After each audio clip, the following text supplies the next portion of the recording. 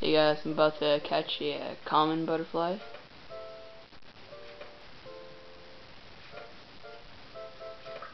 There we go.